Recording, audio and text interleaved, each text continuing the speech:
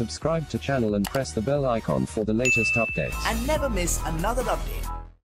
hello dear boy. Welcome to my another video. In this video i am going to show you how to disable your laptop mouse touchpad option.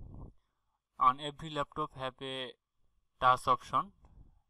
This mouse are working by touch so now i am going to show you how to disable this touch mouse on your laptop. So let's go.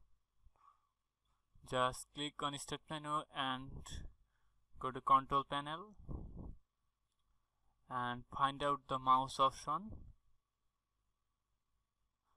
And this is the mouse option. Just click on the mouse. Okay now you can see the click pad settings okay there are two options. Click pad enable clickpad disable. Currently we are currently our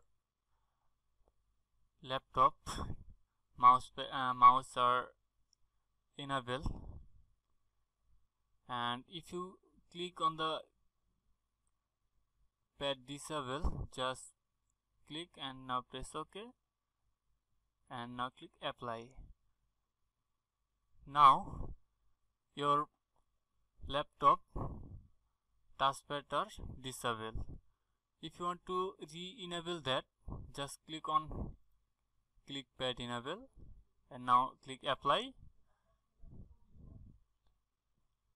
It successfully re-again enable on your touchpad so i hope you understand how to disable or enable your laptop touchpad mouse Thanks for watching my video and please subscribe my channel for the next video.